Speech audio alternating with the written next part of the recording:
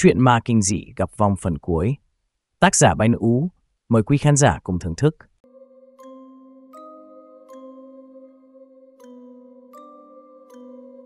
Mọi người trong làng thổi một dĩa xôi, làm một con gà luộc, một ít hoa quả và bánh trái, cùng với giấy tiền âm phủ mà thắp bó nhang tỏa khói nghi ngút mà cắm cạnh mé sông. Bà Phí đóng vài cây đinh dài mà buộc sợi chỉ đỏ, răng kết lại với nhau thành một cái hình vuông cũng như cái ranh giới mà bảo vệ dân làng đang ngồi chờ đợi vong hồn cô gái ấy. Ông cụ Tư cũng có mặt trong đám người mà thở dài nhìn ra phía dòng sông đang bị bóng tối bao phủ mà suy nghĩ. Chính ông cũng đã nghe những tiếng khóc ai oán và cả tiếng hát của cô gái. Cô gái trẻ chết trôi ấy oán khí nặng quá nên khó mà siêu thoát. Đêm nào, vong cô ta cũng hiện ra chỗ mé sông mà gọi tên người cô thương rồi rên la khóc lóc thảm thiết lắm. Ba ngọn nến và nén nhang của bàn lễ cúng được thắp lên, lễ cúng vong hồn cô gái được bắt đầu dưới bàn tay của bà Phí. Mọi người chỉ thấy bà Phí cầm ba cây nhang mà đưa lên, miệng lẩm bẩm mà tiến lại gần gốc cây đa cắm xuống nén nhang thứ nhất. Bà lại tiến đến phía mé sông mà cắm lên nén nhang thứ hai. Sau đó là về lại cái mâm cúng mà cắm cây nhang cuối cùng. Trời mùa đông xe xe lạnh như từ ngoài bờ sông gió bắt đầu thổi vào chỗ mọi người đang ngồi. Gió mùa đông nó rét buốt, nhưng cơn gió này thì lại khiến cho mọi người xung quanh lạnh buốt cả sống lưng mà rợn vai gáy. Bà Phí lúc này thấy thấp thoáng dưới dòng nước đen sâu ấy là một cái đầu người ngoi lên rồi lặn xuống nhìn mộ người trên này.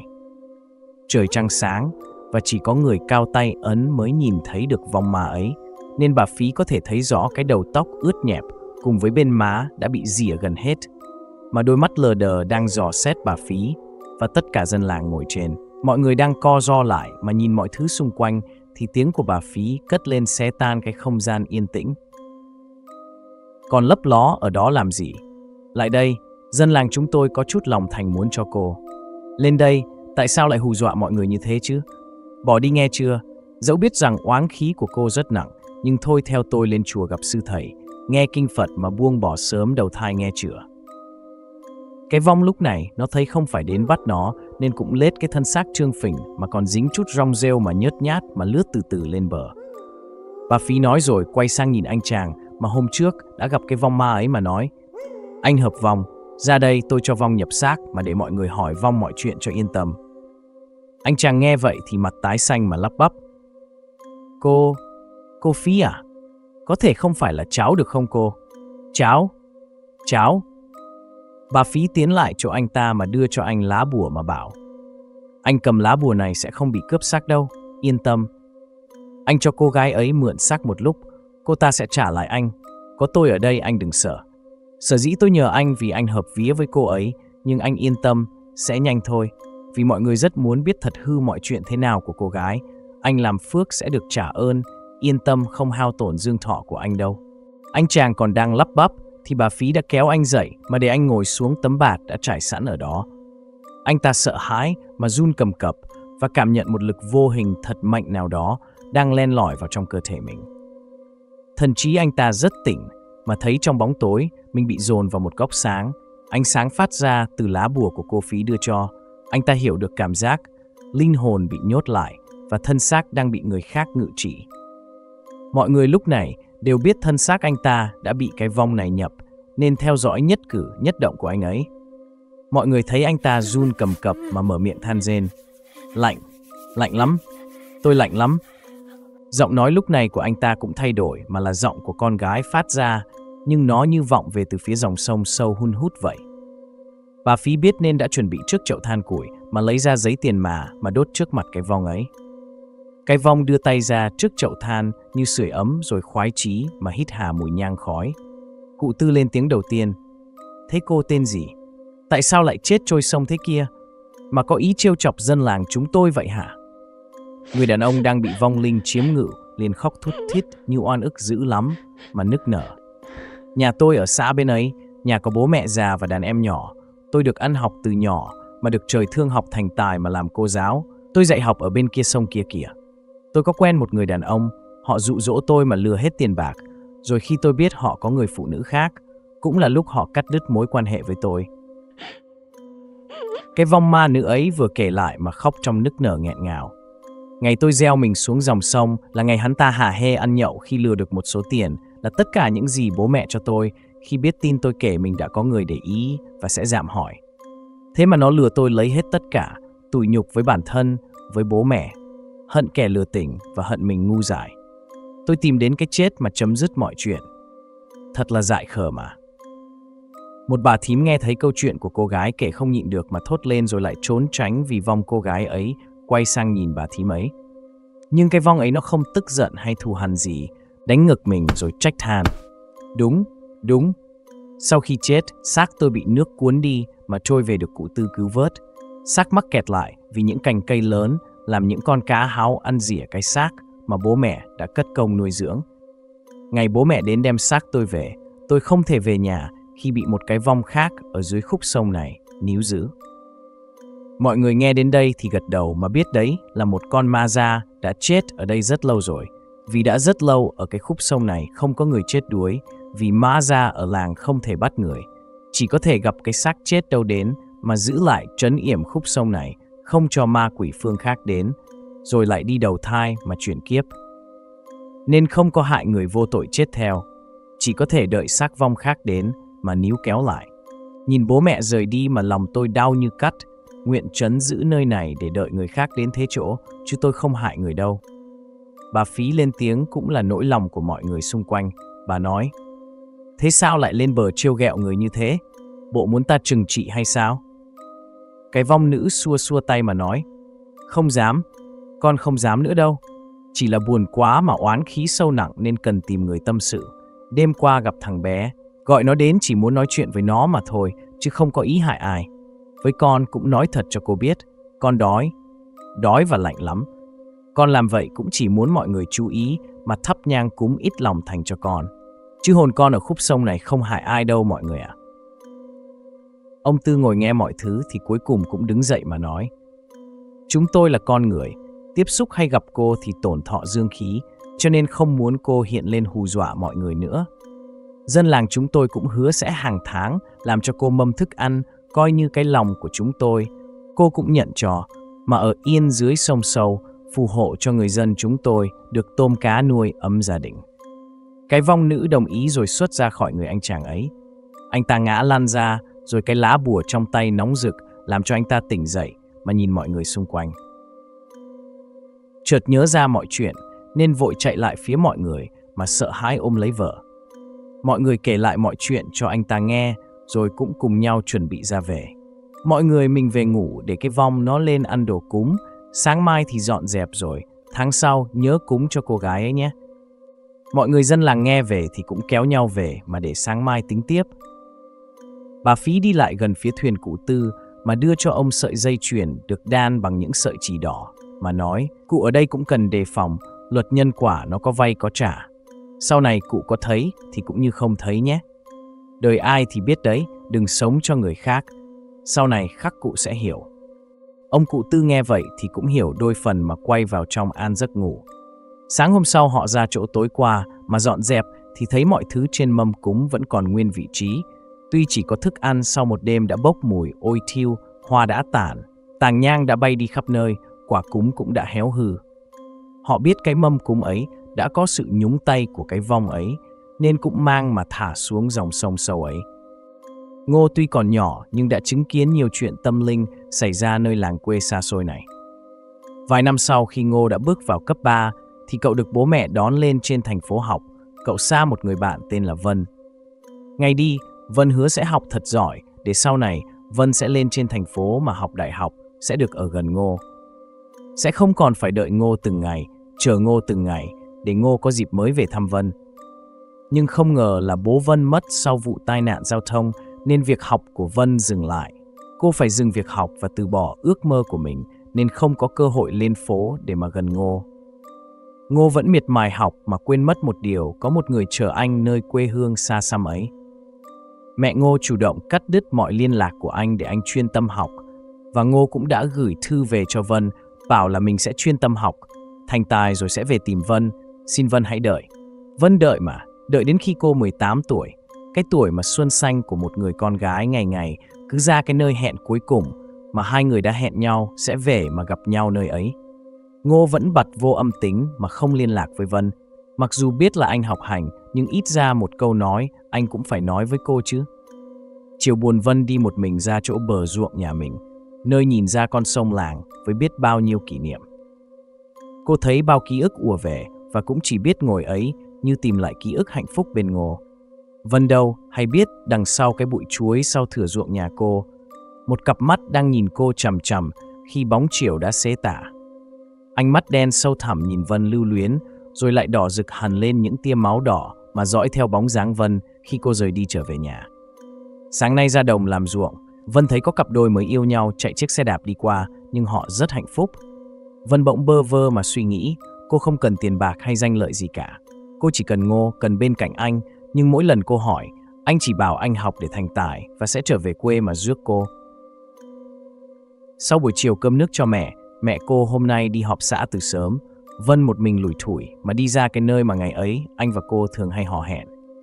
Cảnh vật vẫn còn đấy. Con sông làng vẫn đang nhuộm màu vàng của buổi hoàng hôn, không thay đổi theo thời gian mà vẫn ở đó. Cảnh vật vẫn còn đó, nhưng mà người đã thay đổi từ đâu mất rồi. Vân đứng đó mà thở dài, sườn sượt nhìn xung quanh khung cảnh quê hương gió mát buổi chiều tối. Hôm nay cô không muốn về nhà chút nào cả, chỉ muốn ở đây mà thôi. Có lẽ sự cô đơn một mình đã quen với Vân rồi. Tiếng ếch nhái nó bắt đầu kêu lên từng tiếng, mỗi cũng bắt đầu tấn công Vân, nên cô cũng bắt đầu đứng dậy mà trở về nhà. Đi ngang qua bụi chuối gần thửa ruộng, Vân nghe thấy tiếng gió thổi qua như người rít lên vậy. Cô hơi dùng mình mà lắc lắc cái đầu, rồi tiếp tục đi tiếp.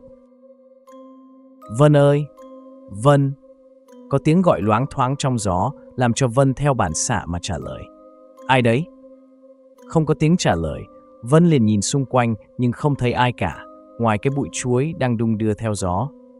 Trời đã nhá nhem tối nên là Vân cũng gạt phanh đi mà nhanh chóng đi về nhà. Con chó đen nhà Vân thường ngày nó ngoan lắm, cứ cho ăn no là nó lại nằm yên một chỗ, chỉ khi thấy người đến nó mới đi lại mà sủa thôi. Nhưng hôm nay nó không như mọi ngày, mọi ngày nó thấy bóng dáng của Vân là đã chạy ra vẫy đuôi mà mừng vui. Thế mà lần này nó cũng chạy ra, nhưng mà nó lại dừng lại một khoảng cách mà sủa lên in ỏi. Vân đi đến đâu thì con đen nó chạy theo mà sủa đến đấy. Nó còn gầm gừ mà dựng xù hết lông lên mà chạy theo sau Vân. Đen đen, mày hôm nay sao vậy? Bà khẩn từ trong nhà ra mà quát con đen. Bà thấy con gái về mà con đen nó cứ theo mà sủa. Đấy là mẹ cho nó ăn no rồi mà nó cứ sao thế nhỉ?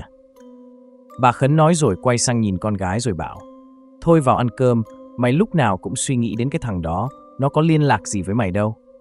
Bà Khấn liền bỏ vào trong nhà mà ăn cơm, Vân cũng lủi thủi mà vào nhà theo mẹ. Theo mẹ nghĩ thì con nên lấy chồng đi, bố cũng đã mất, mẹ con mình thì chỉ vất vả giao cháo.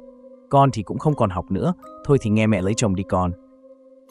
Bà Khấn nói rồi gắp cho con gái miếng cá. Bà thấy vẻ mặt của Vân buồn thì cũng chỉ biết thở dài, khi mà bao nhiêu lần nói mà con gái vẫn không thể quên được cái thằng ấy. Sau bữa ăn tối, trong đầu Vân cũng suy nghĩ đến việc buông bỏ. Vân tự hỏi mối quan hệ này kéo dài bao nhiêu lâu đây khi mà chỉ một mình cô gánh. Đang loay hoay suy nghĩ thì Vân nghe tiếng động lạ dưới bếp. Nghĩ là chuột nó lục phá đồ ăn nên Vân mới chui ra khỏi màn mà đi xuống bếp. Điện bật sáng thì Vân lại không thấy có con chuột nào chạy qua hay có dấu hiệu chuột phá. Vân cũng đành đi lên nhà mà tiếp tục chìm vào giấc ngủ. Gió từ đâu thổi đến, làm Vân cảm thấy lạnh buốt mà nhìn ra ngoài cửa sổ. Cánh cửa cũng đã đóng vậy, gió thổi là từ đâu? Đang mê man suy nghĩ thì bỗng Vân nghe thấy tiếng gọi nó quen thuộc lắm. Vân! Vân ơi! Tiếng gọi làm Vân nổi hết da gà mà giật mình mà nhanh tay với lấy công tắc điện mà bật sáng. Không thấy ai cả, cũng không phải là mẹ cô nên cô cũng cảm thấy hơi sợ mà nhanh chóng tắt điện mà kéo chăn đi ngủ. Cái giường đặt bên góc phòng khách là nơi Vân ngủ. Cô hé cái chăn ra mà nhìn ngó xung quanh, bỗng Vân thấy có cái bóng ngồi ở chiếc ghế gỗ, chỗ bàn uống nước của nhà mình. Vân biết cái bóng ấy không phải là mẹ, cũng không phải là bố đã hiện về với cô như bao lần trước. Cái bóng ấy nó lạ lắm mà cứ ngồi đấy mà thôi. Vân nhìn nó, nó ngồi im quay lưng về phía cô, cô nhận ra đó là bóng dáng của một người đàn ông. Vân không hiểu sao cô kéo lấy cái chăn chùm đầu mà nằm im thin thít mà ngủ lúc nào không hay biết. Vân nằm đó mà say giấc, hơi thở đều đều mà ngủ yên. Bỗng cái bóng đen từ từ tiến lại phía cô mà leo lên chiếc giường gỗ mà từ từ nằm xuống bên cạnh Vân. Nó đưa tay mà ôm quàng lấy người Vân mà bắt trước như cô nằm im mà ngủ. Vân vẫn thế ngủ say trong vòng tay của nó mà mơ màng như có ai đó đang ôm lấy thân thể của mình. Sáng hôm sau, Vân thức dậy mệt oải người mà không đi làm được. Cô ở nhà mà nghỉ ngơi cả ngày dài. Chiều hôm ấy, sau khi đã đỡ mệt, cô thu dọn nhà cửa rồi tắm rửa. Lấy chiếc lược ra phía tấm gương định trải đầu, thì Vân hoảng sợ mà hét lên một tiếng rồi ngất lịm trong nhà tắm. Khi thứ cô nhìn thấy trong gương là một khuôn mặt kinh dị. Đôi mắt nó đảo lên từng hồi mà lồi ra như muốn rớt ra ngoài, mặt nó chẳng chịt những vết cắt mà dỉ máu ướt đẫm khuôn mặt.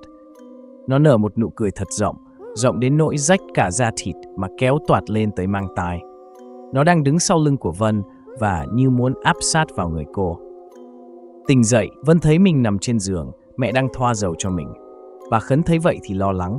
Sao đấy con? Mệt lắm hay sao? Mai mẹ đưa lên trạm xá nhé. Vân lắc đầu và kể lại hết mọi chuyện cho mẹ nghe. Từ chuyện đêm hôm qua nó ngồi nơi ghế gỗ, đến chiều nay cô gặp nó thế nào.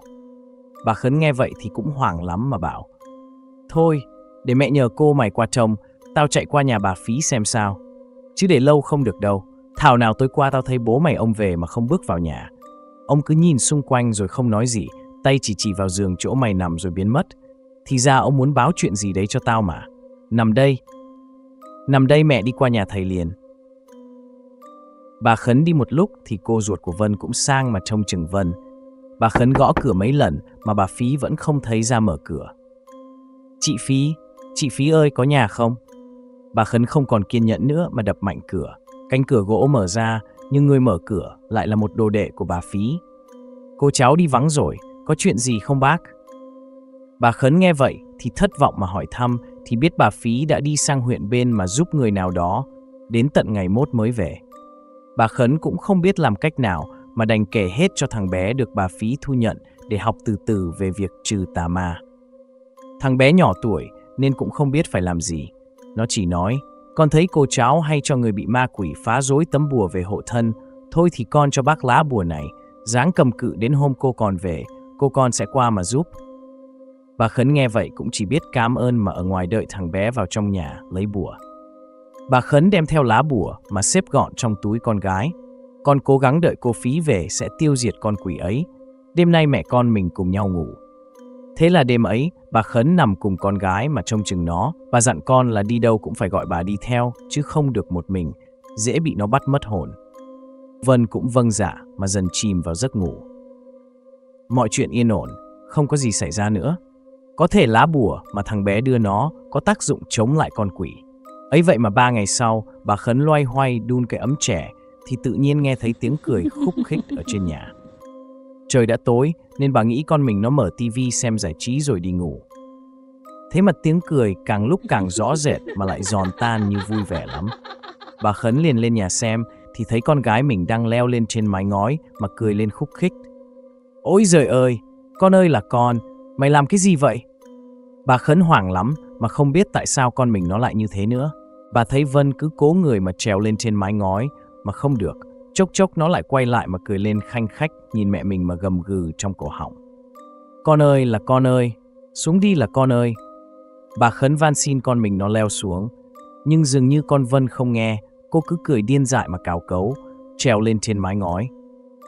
Con đen nó cứ sủa lên inh ỏi mà làm cả xóm phải chạy ra xem có chuyện gì mà con chó nhà ai nó cứ chu réo lên vậy. Bà Khấn lúc này cũng chả biết làm gì, đành hô hào mọi người xung quanh đến giúp vậy. Họ cũng bu đến nhanh lắm mà tay chỉ trỏ, miệng thì bàn ra tán vào. Cô của Vân biết chuyện mà chạy đến nhà bà Phí mà thưa chuyện. Bà Phí cũng đã nghe người đệ tử nói nhưng bận việc chưa qua được. Bà vội lấy áo khoác vào cùng cái tay nải mà chạy sang. Đến nơi thì người ta đã trải ra tấm nệm không biết lấy đâu ra đặt dưới chân cô Vân, lúc này đã leo lên được mái ngói. Họ thấy bà Phí qua thì hiểu là có chuyện tâm linh nên cũng tránh gọn lại cho bà Phí đi. Bà Phí nhìn rồi lấy ra ba nén nhang mà đốt lên. Cô Vân cũng ở trên mái ngói mà nhìn xuống chỗ bà Phí. Cái vong quỷ kia, ngươi ở đâu? Dám xuất hiện mà phá phách, nhập xác vào người con gái ấy. Vân trên mái ngói cười lên khanh khách rồi rít lên từng hồi nghe man dợn. Tao lớn hơn mày cả mấy chục tuổi, ăn nói hỗn láo, tao vặn cổ. Ha! Bà Phí biết cái vong này đã chết lâu mà thành quỷ dữ, biết không thể leo lên trên mà bắt nó xuất ra thì vội vàng khít ý nó. Lớn hơn thì đã sao? Có dám xuống đây mà đấu với ta? Vong quỷ cười lên sảng khoái mà đáp. Xuống thì xuống. Họ chỉ thấy cô Vân nhảy xuống từ mái ngói 5 mét, chạm chân xuống cái nệm mà vẻ mặt tỉnh bơ không hề hững gì. Cái vong quỷ nó chỉ tay về phía con chó đen mà gầm gừ. Mày mà sủa nữa, tao vặn cổ. Con đen như nghe hiểu im bạch mà trốn sau lưng bà Khấn, nó chỉ kêu lên từng tiếng ử mà không dám ló mặt ra. Nếu như chúng mày thua, con bé này thuộc về tao. Thấy cái vong trong xác con gái mình đòi chính mạng sống con gái mình, thì bà Khấn khóc nức nở mà van xin, lại lục nó.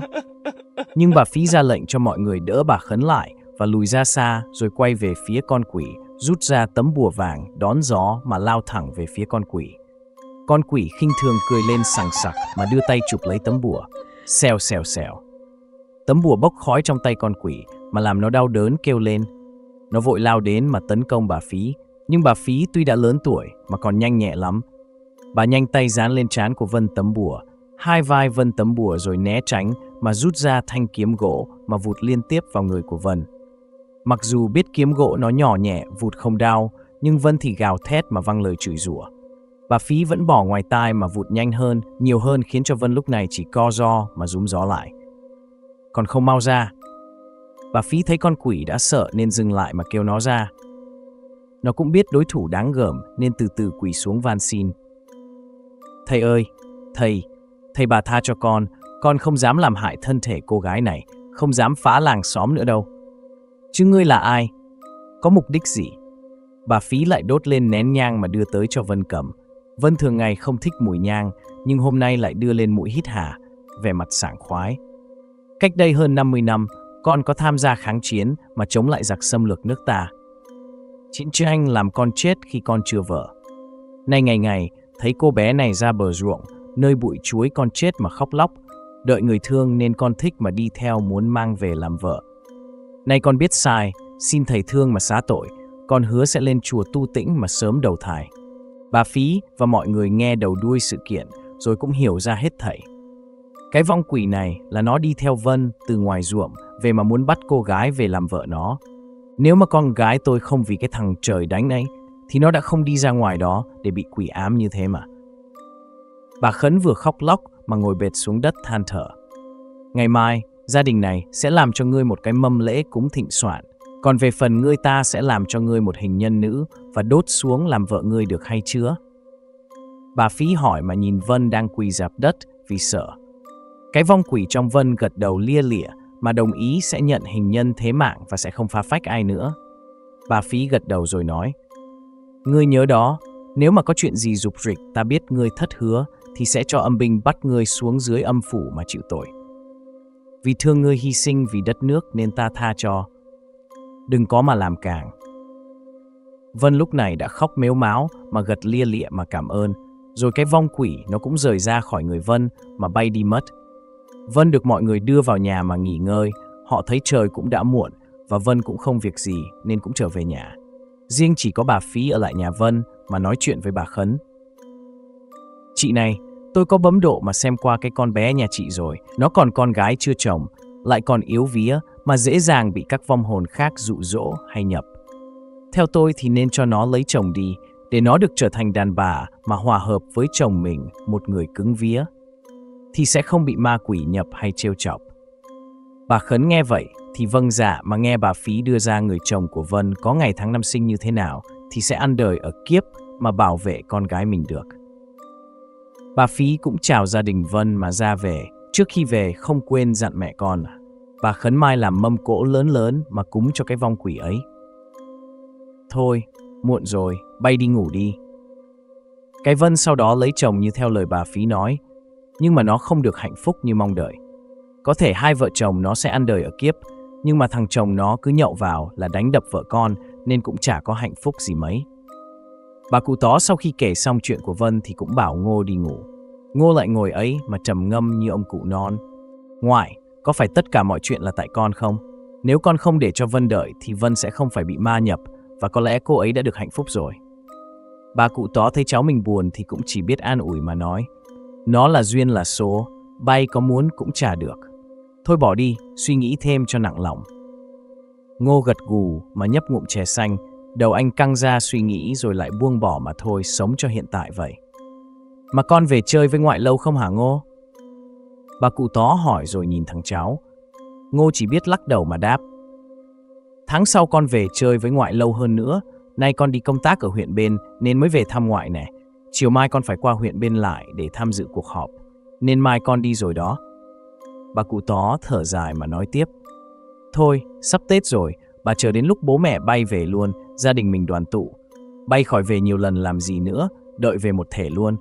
Mà mai con có qua nhà bà Phí không? Hôm bà Phí có hỏi mà muốn xem đường tình duyên cho con đấy. Mai qua chơi rồi đi nhé. Ngô gật đầu, tỏ ý sẽ qua bà Phí rồi đi. Còn mấy đứa bạn bên huyện bên mà cháu chưa qua chơi được. Thấy thằng cháu chỉ tay về phía con sông thì bà cụ tó biết là bạn nó bên kia sông nên cũng dặn. Qua sống thì phải cẩn thận đấy, bà Phí bảo con kỹ nước nên thôi, chịu khó đi đường lộ mà nó an toàn. Ngô gật đầu mà ghi nhớ lời bà ngoại dặn, anh chợt nhớ mà hỏi. Mà ngoại ơi, cái cô gái năm ấy chết trôi xuống khúc sông làng mình có về quấy phá nữa không? Bà cụ tó lắc đầu mà đáp, chuyện gì đến nó cũng đến, đúng như lời bà Phí nói cháu à. Bà cụ tó đã buồn ngủ, nhưng cũng dáng mà ngồi kể lại chuyện cho cháu mình nghe. Cô Châu cách nhà bà cụ tó mấy căn, cô mới vừa tròn cái tuổi 18. Cô theo bố mẹ thả lưới trên sông nên hay mang cá tôm sang chợ huyện bên mà bán. Nên quen được với một người thầy giáo bên huyện ấy mà đưa về nhà chơi. Gia đình cô Châu rất là quý cái anh chàng ấy, vừa trí thức, nho nhã mà còn lễ phép nên đồng ý cho con gái mình quen mà tìm hiểu. Nhưng mà cái anh chàng ấy cũng yêu cô Châu thật lòng, mặc dù có ngoài 30 nhưng người nhà cô Châu cũng chịu nên họ thường xuyên gặp mặt nhau mà tình cảm sâu đậm. Cho đến một ngày, cái hôm mà anh Long quyết định sẽ qua thưa gia đình của cô Châu mà đưa bố mẹ sang để dạm hỏi, thì mọi chuyện nó lại xảy ra. Hôm ấy, trời nó tối sớm mà mưa cứ bay bay xe xe lạnh. ấy thế mà trong lòng cô Châu cứ nóng như lửa đốt, từ lúc sáng dậy là cô đã cảm thấy có chuyện gì đó không lành và cả buổi ấy cứ nôn nao thế nào. Hôm nay anh Long hẹn qua nhà thưa chuyện với bố mẹ phải chăng là cái cảm giác này sao? Châu suy nghĩ mà không thể giải thích được. Uống vài ly rượu với bố Châu thì Long cũng đi vào vấn đề mà được bố Châu đồng ý. Long vui mừng khôn tả mà có thêm vài chén rượu với bố Châu. Khoảng hơn 8 thì anh mới xin phép gia đình mà ra về. Anh được Châu tiễn ra đến tận bến sông mà về nhà. Em về đi, anh không sao. Trời lạnh thế này dễ ốm lắm. Về đi, anh về đến nhà sẽ gọi điện thoại bàn cho em. Hai người chia tay nhau mà để cho Long về Châu cũng thấy ổn mà rời về trước. Cụ Tư, cụ Tư ơi! Cụ Tư đã ngót nghét gần 70 tuổi, nên đã có phần lãng tai. Nhưng mà sự nhanh nhẹn của cụ thì vẫn còn tốt lắm, cụ vẫn chèo thuyền mà chở khách sang sông. Long gọi mãi thì cụ mới nghe mà đưa thuyền tới mà chở Long trở về nhà. Nay về muộn thế. Cụ Tư cũng biết Long thường qua bên này mà tìm hiểu người bên xã mình, nay thấy anh về muộn nên hỏi thăm. Long sẵn vui nên kể lại chuyện mình được đồng ý tìm hiểu, rồi sẽ đưa gia đình sang mà dạm hỏi Châu cho cụ nghe. Cụ Tư cũng vui thay cho anh mà chúc mừng anh vài câu. Chiếc thuyền đang đi, bỗng nhiên nó chậm lại mà dừng lại hẳn, làm cho cụ Tư hoảng sợ. Cụ biết đây là ma trêu quỷ chọc mà thì thầm. Chết mẹ, gặp chuyện ma quỷ gì nữa đây? Con thuyền lúc này đã đi được nửa đường mà tự dưng dừng lại thì chỉ có ma quỷ làm mà thôi. Anh Long lúc này cũng hoảng sợ mà hỏi dồn dập cụ Tư. Cụ Tư cũng bảo là cũng có đôi khi gặp chuyện tâm linh, khấn vái là sẽ xong thôi. Cụ vội vào trong mà đốt lên bó nhang mà khấn vái. Kính lạy những người khuất mặt khuất mày. Tôi chỉ kiếm miếng cơm, có gì mai tôi cúng cho mọi người. Chỉ xin an toàn cho khách sang sông, mai tôi tạ lễ vậy. Khấn xong thì cụ Tư cắm bó nhang ở đầu thuyền mà cầm cái mái chèo định chèo tiếp. Nhưng chiếc thuyền của cụ vẫn đứng im lìm mà không núc nhích, mặc cho dòng nước chảy xuôi mà thuyền nó vẫn nặng nề một chỗ. Bỗng chiếc thuyền rung lắc dữ dội, làm cho cậu Long trên thuyền cũng cảm thấy hoảng sợ mà kêu la. Cụ Tư lúc này cũng sợ hãi mà khấn vái rồi van xin. Hai người chỉ biết nắm chặt chiếc thuyền rồi kêu la thảm thiết. Chiếc thuyền dần dần lật ngửa mà chìm nghỉm xuống dưới dòng sông. Cụ Tư lặn rất giỏi, nhưng mà nước nơi đây khá sâu nên là cụ cũng đuối thế. Cụ tìm mà kéo được cái đầu anh Long, lúc này đang uống nước no căng bụng lên mà kéo đưa vào bờ. Đi được một lúc thì một lực mạnh kinh khủng giằng lại mà lôi tuột anh Long và cả cụ xuống dưới đáy sông mà làm cụ Tư cũng căng bụng nước. Trong lúc mơ màng cụ Tư thấy có ai đó đang đẩy mình vào bờ nằm gọn trên mé sông. Tiếng nói của một người con gái cất lên nghe rất gần bên tai cụ. Kẻ ác thì phải chịu tội, cụ vất vả làm chi cho tốn công. Bảo với thầy phí là tôi sẽ không bao giờ làm hại ai nữa, tôi chỉ trừng trị kẻ ác hại đời tôi. Tôi và hắn sẽ mãi nằm dưới đáy sông này, đừng lo lắng gì, chúng tôi sẽ phù hộ cho dân đánh bắt cá ở con sông này. Thế là cụ Tư nghe xong cũng mệt nhoài mà ngất lịm. Sáng sớm hôm sau, người dân phát hiện cụ Tư nằm ngất nơi mé sông và chiếc thuyền cụ mất tích. Xa hơn chút nữa là cái xác nằm úp của một người đàn ông mặc chiếc áo sơ mi màu trắng đang phập phồng trên mặt nước. Anh Long, Châu cũng có mặt ở đó, cô nghi ngờ vì chỉ có anh tối qua về muộn mà qua sông. Cả chiếc áo anh mặc nữa. Thế là họ vớt cái xác lên, nó cũng nằm ở chỗ như y, cái chỗ mà vớt được xác của cô gái sâu số ấy. Châu và gia đình cô chết lặng vì đó là Long, anh đã chết. Nơi hai cổ chân là vết bầm tím to, in rõ dấu tay chính là bị ma ra nó níu lại mà dìm cho chết. Bà cụ phí cũng chạy ra mà được ông Tư tỉnh lại kể rõ mọi chuyện. Mọi người đều ngớ ra mà nhớ lại mà móc xích lại mọi chuyện.